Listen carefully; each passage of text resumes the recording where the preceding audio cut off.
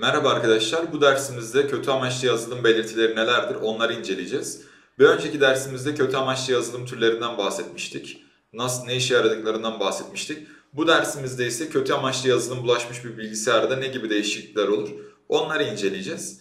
Eğer kötü amaçlı yazılım sistemimize bulaştıysa CPU kullanımında artış olur.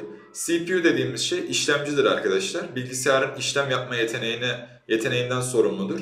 Eğer CPU kullanımında artış olursa bilgisayarda kasma donmalar olmaya başlayacaktır. Bilgisayar yavaşlayacaktır. Web aramalarımız yavaşlayacaktır. Yani bilgisayarımız genel olarak yavaşlayacaktır arkadaşlar.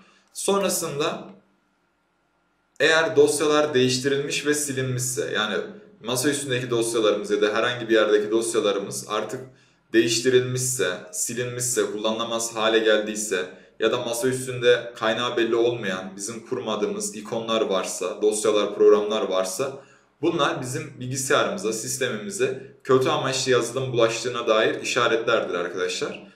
Sonrasında eğer kullanıcının rızası olmadan e-posta gönderiliyorsa yani rızamız olmadan birilerine bizim haberimiz olmadan e-posta gönderiliyorsa bu bizim bilgisayarımıza, sistemimize zararlı yazılım bulaştığını gösterebilir arkadaşlar. Tabi bunun önlemi olarak da antivirüs programları indirebiliriz, kurabiliriz sistemimize ve zararlı yazılım taraması yapabiliriz. Bu zararlı yazılımları sistemimizden silebiliriz ya da bilgisayarımıza format atabiliriz arkadaşlar. Verilerimizi kurtarmak için antivirüs programları kullanabiliriz. Yani format atmadan içerisindeki zararlı yazılımları tespit edip silmesini isteyebiliriz antivirüs programlarından.